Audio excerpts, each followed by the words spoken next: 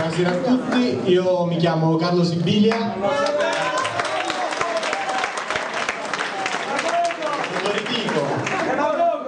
Allora, sono stato eletto in circoscrizione Campania 2 e sono un attivista alla Camera dei Deputati.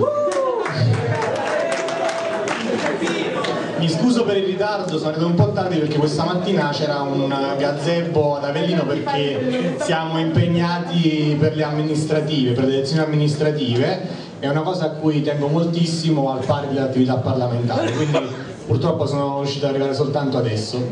Eh, cosa dirvi? Eh, molte cose già ve le hanno detto i miei oggi colleghi, ieri compagni di strada, eh, compagni di gazebo, compagni di banchetti. Io quello che vedo è che purtroppo noi abbiamo l'unica difficoltà forse che abbiamo è quella di renderci conto dove siamo andati a finire. Il mio messaggio è quello di dirvi che quello che voi state facendo qui noi lo stiamo facendo lì, come vi stanno dicendo anche i nostri colleghi.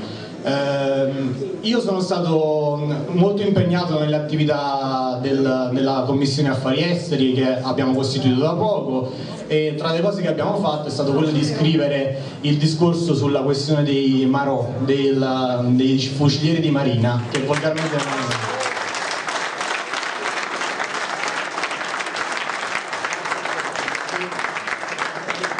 È uno di quei, di quei, passaggi di cui vado particolarmente fiero e che ho tenuto moltissimo ad, ad inserire nel discorso è la possibilità che purtroppo ci sia stato uno scambio di vite umane per un ricatto di una commessa di Finmeccanica. Perché praticamente è probabile che, o così come insomma, abbiamo detto, ancora non c'è stata nessuna smentita che i nostri Marò siano stati, diciamo, siano stati costretti a tornare perché c'era una commessa in corso della Finmeccanica attraverso la VAS di Livorno per 300 milioni di euro eh, relativi all'acquisto di eh, siluri ad alta precisione. Quindi eh, la sostanza delle cose è questa, noi siamo lì per svelare queste situazioni, per spiegare che eh, PD e PDL sono la stessa cosa, quindi spero che qui oggi non parleremo della fiducia oppure già, già magari ne avete parlato, andiamo oltre e qualche nota di colore ve la devo dire, noi in questo momento non abbiamo ancora percepito nessun, nessuna retribuzione. Eh, attualmente stiamo spendendo i nostri soldi, i nostri risparmi e io ho uno di quegli oneri più grandi che è quello di dormire con Sergio Puglia.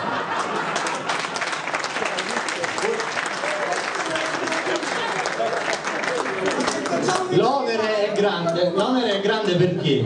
Perché Sergio Puglia russa in una maniera indecorosa. Purtroppo russa in Dolby Surround. Quindi il problema è che il mio lavoro viene inficiato anche dal fatto che non dormo la notte. Vabbè, se io insomma potrei dirvi milioni di cose, però penso che già vi abbiano sintetizzato tutto, era giusto per lasciarvi con, una, con qualcosa di simpatico, perché alla fine la verità è che noi ci teniamo tanto e ci fa piacere averci con voi.